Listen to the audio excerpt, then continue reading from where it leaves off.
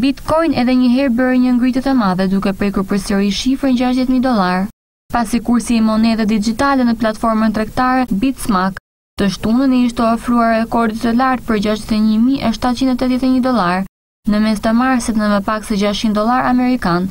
Ai ra në gati pesëdhjetë e nëntë mijë e shtatëqind dollarë të dielën në mëngjes.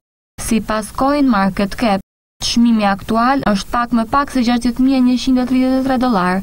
Që nga kërcimi nga lartësia rekord në mes të marsit, norma e monedhës dixhitale më të vjetër tani është konsoliduar midis pesëdhjetë mijë dhe rreth gjashtëdhjetë mijë dollarë.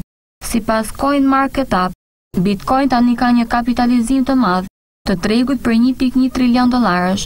Kjo do të thotë se kriptomonedha më e vjetër është edhe më e madhja. Pas Bitcoin, monedha dixhitale Ether renditet e dyta në një kapitalizim tregu aktualisht gati dyqind e njëzet e gjashtë miliardë dollarë.